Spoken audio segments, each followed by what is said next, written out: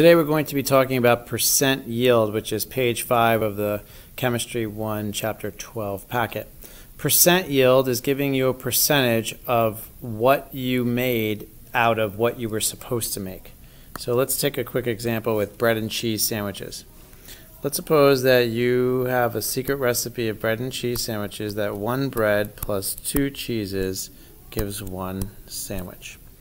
Let's suppose that you were given um, 40 slices of bread.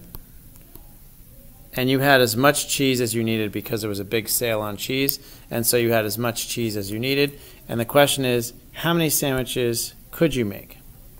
Well if you do the bridge you'll see that you would take 40 divided by 2 times 1 which is 20 so you should make 20 sandwiches out of 40 slices of bread and unlimited cheese. This would be called the theoretical amount or the theoretical yield.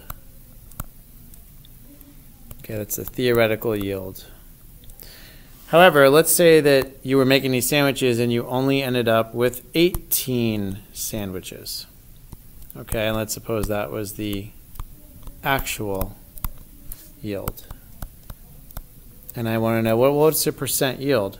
So the percent yield equals actual divided by theoretical times 100. So if we're going to do this, we'll say the actual was 18 sandwiches divided by the theoretical, which was 20, times 100.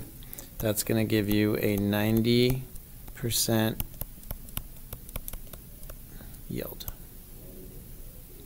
So it's what you got over what you were supposed to get. So you always have to figure out both numbers and then add them up together. I'm sorry, not add them, but divide them. So let's take a look at this problem. This says that you have an equation of carbon plus hydrogen yielding CH4, which is called methane. You actually have to balance this first, so there's going to be a 2 here to make the equation balanced. Now you're starting with 18 grams of carbon. 18 grams of carbon is right here and it tells you that you made 20 grams of methane in an experiment. So this is telling you the actual. This is the actual because this is from the experiment. You need to figure out the theoretical, which is going to be from the bridge. Okay, so theoretical always comes from stoichiometry, which is the bridge. So notice that this is grams, so we have to use the big bridge for this. And big bridge is going to be adding up these from the periodic table. So this weighs 12, this weighs 16. You don't even need to worry about the hydrogen because it says it's unlimited. So unlimited hydrogen means you have as much as you want. So we're going to do big bridge. We're going to do 18 divided by 1 divided by 12 times 16 times 1. And that's going to, excuse me, that's going to give us an answer of 20 24. So we're supposed to make 24 grams of the methane. That's our theoretical. So how do we get the percent yield? We take actual over theoretical. Oh dear. So here we go here. So we take so sorry, 20. 20 was the actual divided by the theoretical, which was 24.0 times 100 and that's going to give you an 83.3% yield.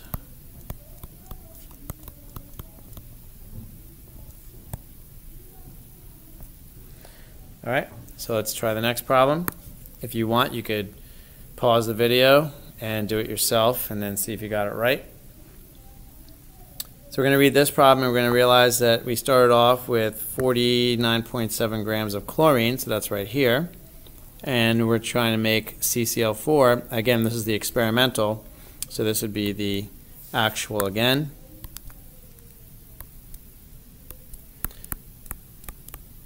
You need to balance this equation. Always check for balancing, so it should be a 2.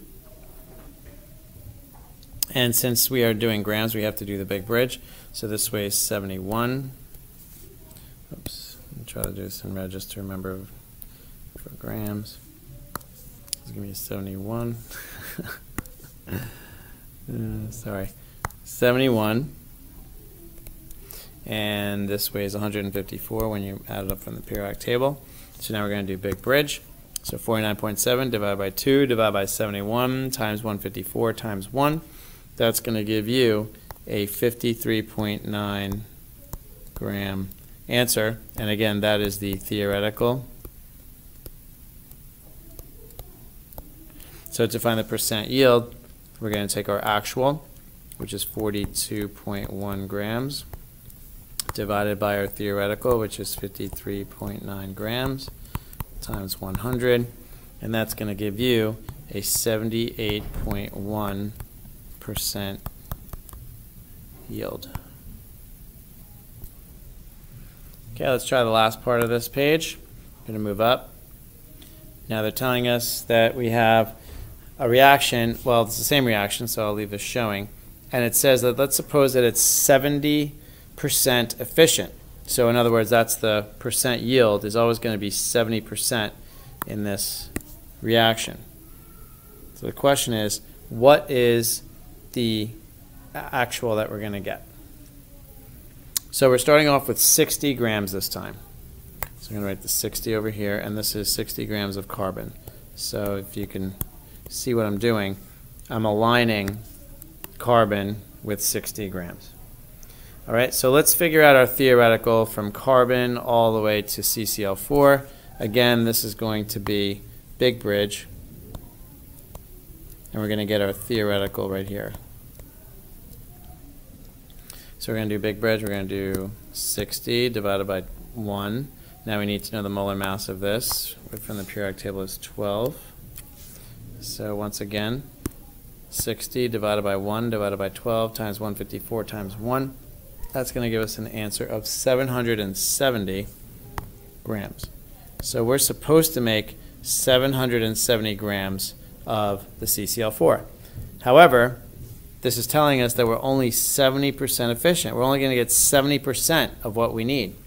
So you could just take 70% of 770, and that's going to tell you that you should have made, or you would have made, sorry, you would have made 539 grams of CCl4, and that's going to be the actual.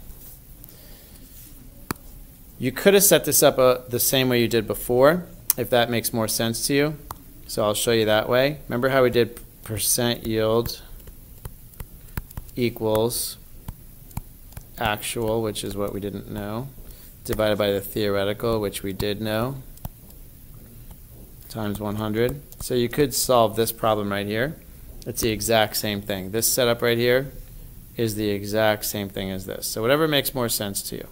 If you understand that you could just take the percentage of the theoretical to get the answer, that's fine. Or if you want to just set up the whole equation like we usually do, percent equals actual over theoretical times 100, you're going to get the same answer no matter how you set this up. And this should help you doing percent yield problems.